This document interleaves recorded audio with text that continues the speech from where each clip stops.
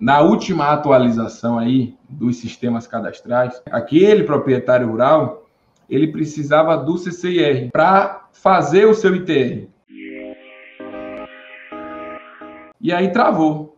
Aquele contador que não tinha conhecimento do CCIR, ele tinha conhecimento só do ITR, que eles pegavam muito serviço só de ITR, acabava que eles tinham que fazer CCIR para fazer o ITR. E acabou que houve um problema e agora CCIR, aí surgiu a própria vinculação, que a ideia é essa, né, citar esses sistemas vinculados, né, do CCIR com o ITR e a Receita Federal colocou só vai ter ITR com a criação do CCIR pelo CNI. Travou, né? Então muitas pessoas que não estavam cientes de que existem outros cadastros, não estavam cientes dessa vinculação que já era estudada pelos órgãos previstas, né?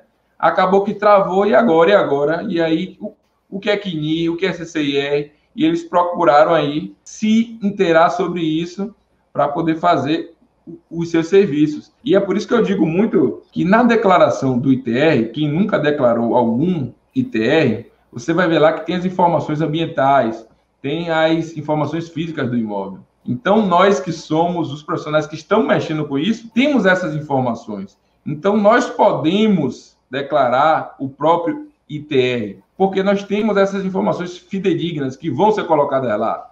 Muitos não colocam a área ambiental do imóvel, porque tem que pegar as informações do CAR.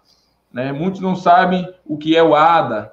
Né? Então, por isso que é muito importante é, se comportar como esse gestor do imóvel rural que faça também o ITR. E como eu disse, né, aquele cliente vem pelo ITR, mas fecha um combo rural. Aquele cliente vem pelo CCIR, fecha, fecha. o combo rural.